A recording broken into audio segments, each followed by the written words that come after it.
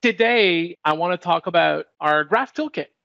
We've covered a lot of our components already the person components, the people, uh, tasks, agenda, to do. Uh, today, I want to focus on something that is really near and dear to my heart, which is files. Coming from a, uh, a strong SharePoint background, I've been working with files in SharePoint, OneDrive, and Teams forever. And I'm excited today to showcase how we're thinking these should be handled within the Microsoft Graph Toolkit. Before we go any further, to do a little bit of a recap on what is the Microsoft Graph Toolkit. So the toolkit is a collection of reusable framework agnostic components and auth provider that allows you to access and work with Microsoft Graph. So think about how you, you want to stop reinventing the wheel, leverage some existing components that exist provided by um, the Microsoft Graph Toolkit team that connects to Microsoft 365 data and integrate them directly into your app, whether they are built with any framework, uh, React, Angular, Vue, jQuery, name it, any type of front end framework, um, and also will work with any types of modern browsers, basically all the browsers we know today. So that's really kind of the, the value of what the Microsoft Graph Toolkit is all about. It helps you cut on dev time. You don't have to rebuild all of these functionalities to build a, a capability that goes on and fetches files based on a group ID or on a team ID or any of these things and it's basically drag and drop inside your app. You don't really have to uh, build any big capabilities to include MGT in your app. They're beautiful. They're themed around Microsoft 365, so they really look native to the platform, but they're also very flexible. Think about how you might want to bring your own brand inside these controls. This is all absolutely possible. And it works everywhere want to work in SharePoint, you want to work in Teams, you want to work in Electron, you want to work just as a regular SPA that is totally outside of these constructs, you're more than welcome to bring MGT to any of the apps that you are building. So today we will be focusing on two components. The first component we're going to talk about will be the file component. Think about how you want to display a file card or a file representation of the data that lives in Microsoft 365. So that's going to be the first component. That document or file can come from OneDrive or SharePoint or Teams, and they can also be either files or folder. But what we're also thinking about is how we can bring these multiple files together as part of the file list, bringing a total folder as part of it, or even building a full browsing capability with uh, files and folder to be able to navigate your OneDrive or to be able to navigate a group uh, list of um, folders. Well, that's exactly what the MGT file list and MGT files are, and they work really, really closely together. So let me go to our uh, demo for today. Let me kill this presentation and let me show you very quickly what we will be building today.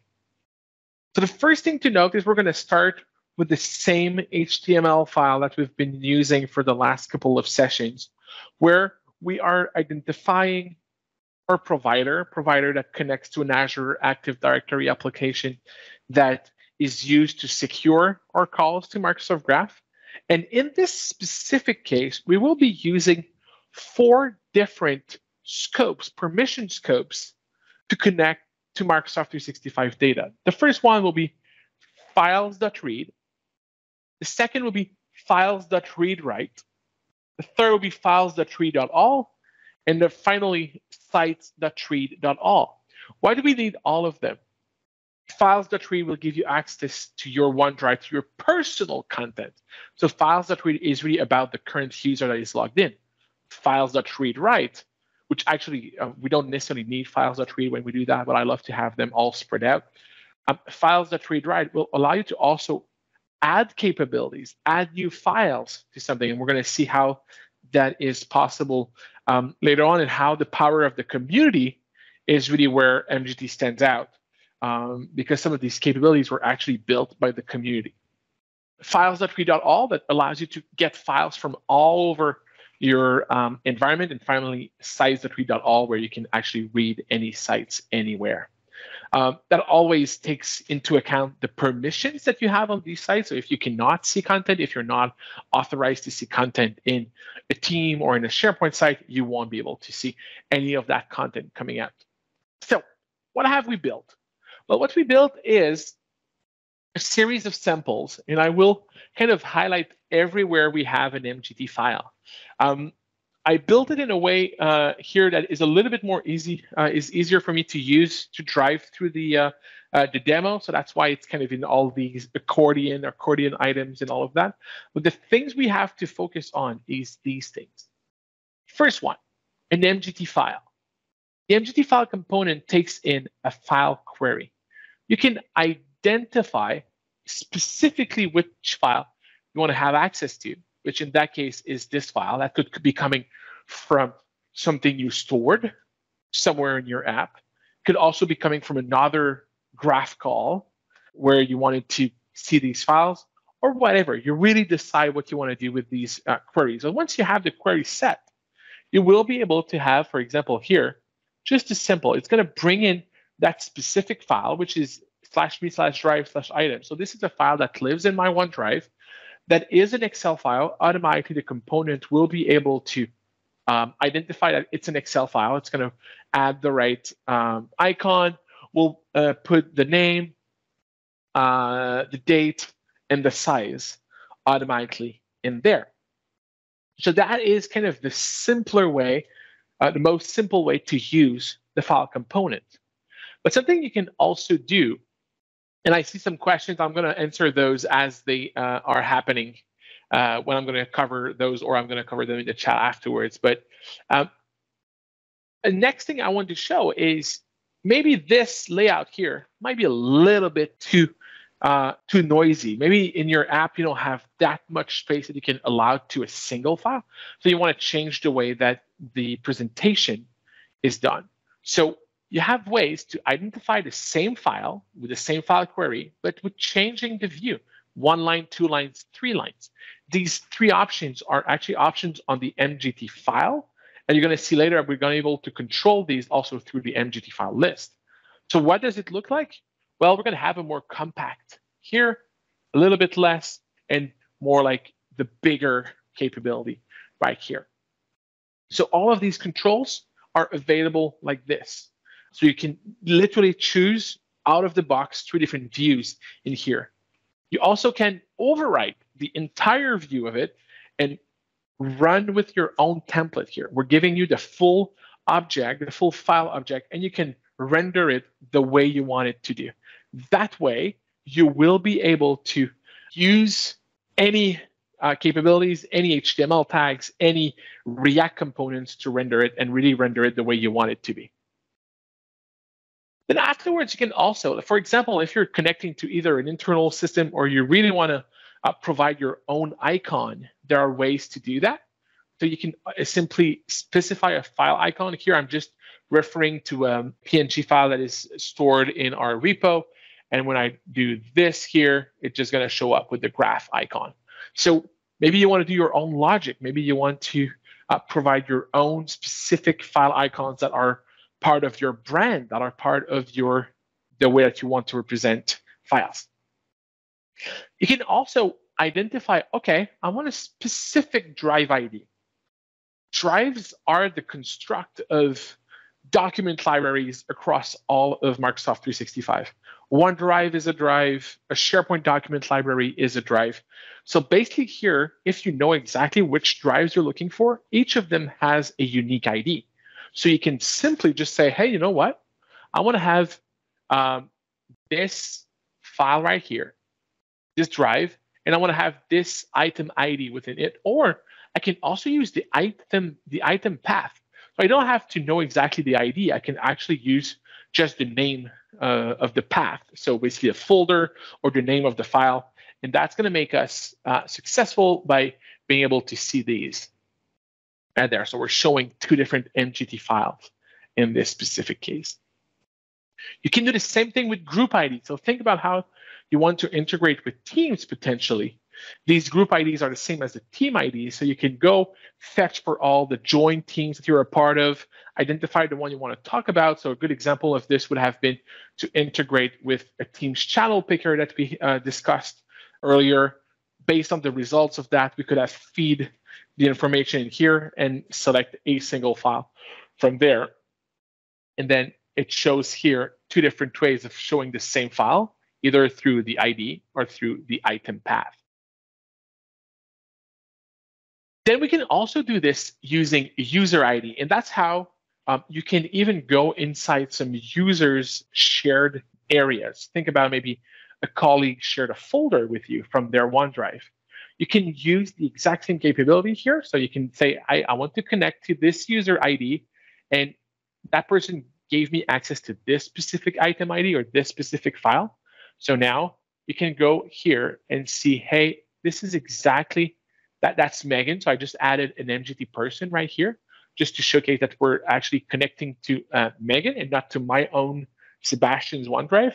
And I can see all the different files that are being available as part of it.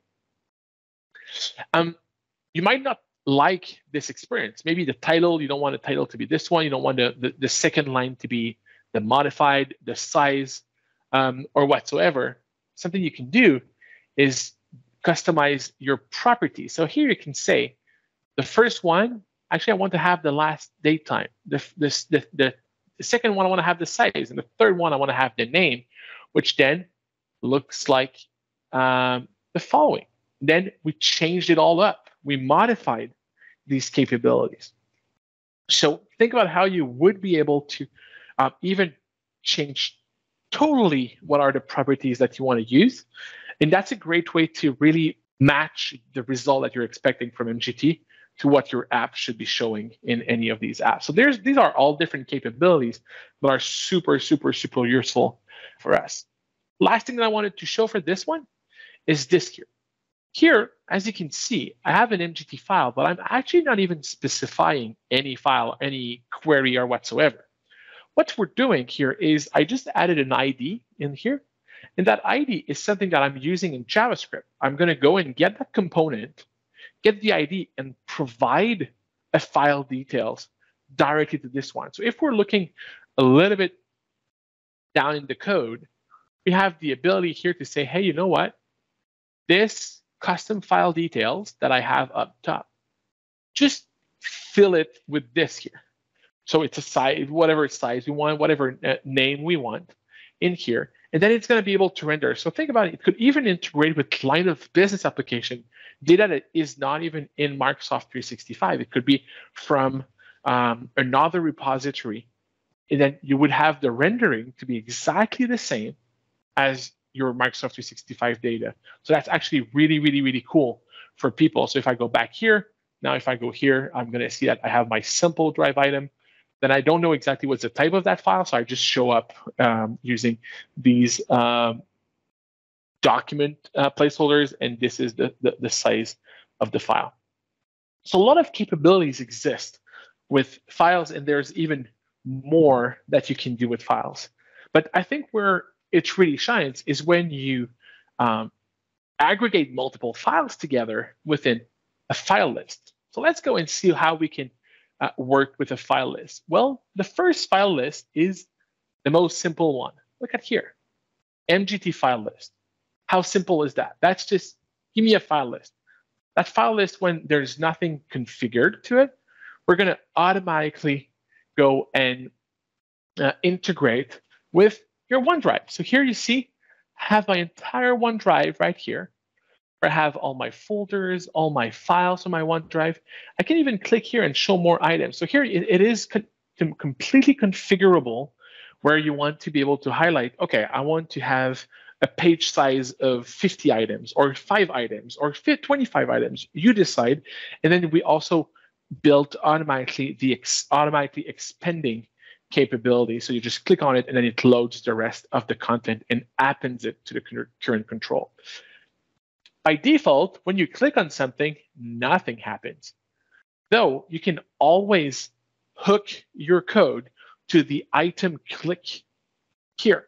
That means you will be able to um, for example, to react to something that happened. I clicked on this folder. Maybe I want to change the root of my component, or I want to open it in a new tab to be able to see the file.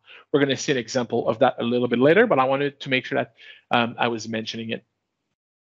Second thing, well, I think it's fair to say that when we have a, a file list, we want to be able to upload something, right? So in that case, we're uploading to um, our OneDrive. And that's why we needed to have these read-write capabilities. So I can click on Upload Files and select my MGT announcement here, and automatically it's going to upload. It's going to say that it's done. That's really, really cool. We also support, um, let me just quickly do this here.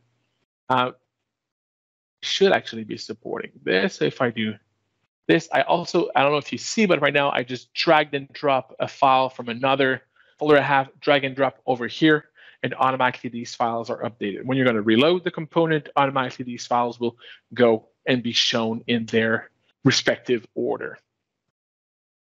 To do that, you just need to enable the file upload to be true, and that's it. You're good to go. Then afterwards, you can also do a specific query. You can say, hey, you know what? I want the query to be just the children of this item. So for example, this is a folder. So you can say the content of this folder, I want it to be um, added and to be showcased in here. So you could go to any document library, any site, any team, any OneDrive, and show the, the current uh, um, capabilities underneath. What you can also do is multiple queries. So you say, I want to have files coming from here, also coming from here, and also coming from here.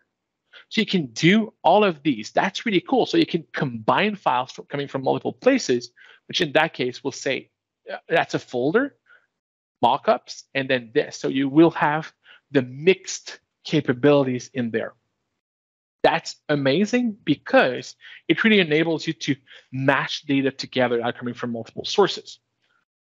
A couple of other scenarios, same thing with group ID and items. So you have the exact same capability when you have a group and a path. So for example, think about teams. That would be a team and the general folder, which we see right here.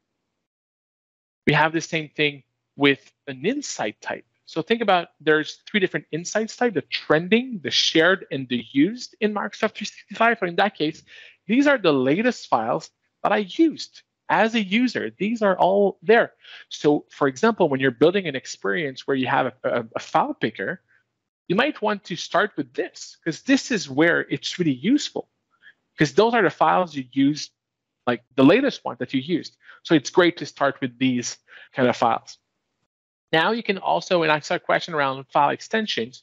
Well, file list allows you to do, hey, I just want to care about doc and XLX, XLSX, for example. So here, these are the ones that are on my OneDrive that are uh, Excel and documents and Word documents. These are the only ones we're filtering out all the rest from here. Um, there are also ways to customize the views. So you can see that the item view is going to be one line, two lines, or three lines, the same way we did it earlier, but now it affects all the components that are being used as part of the capabilities. And here you see that we changed the page size to have it a little bit smaller. Finally, I think this is uh, where it really shines, is all the capabilities that we have in uh, MGT file list all combined together, where we're going to be able to build a full breadcrumb and, and navigation capabilities in there. So for example, if I go here, I have my files. And when I go to my Dex here, well, I'm going to see all the files from Dex. I can go back to files, can go to mockups. I have all of them right here. If for any reason I don't see, I don't have a data, I am able to override the template when there is no data. And that's going to automatically say, sorry, no files are available in this folder. And this is what's going to be rendered to the screen. So you have the ability to bring your own messaging, to bring your own, maybe even iconography in there. And how do we do that? Well, we just hook up right here to our different components. Here we have the MGT file list breadcrumb, which I named it. And we're doing just a little bit of logic right here, where we add the event listener to a click. And then if it, there's a detail, then we just change the capabilities. We change which folder is the root of the of the MGT file list component, and we do some uh, management around the breadcrumb item. So this also behaves good. And if not, I'm just going to window that open this file. So if I click here, automatically I, I'm just now in my OneDrive and I just saw that file. So you can really build the experience you want to really expand on your scenarios and really build the MGT file list component that you really need. So just as a recap, a couple of resources. If you want to go and, and check the code that we use today, go to the aka.ms slash mgt slash sandbox, have a look at all the other resources, and back to you, Vesa.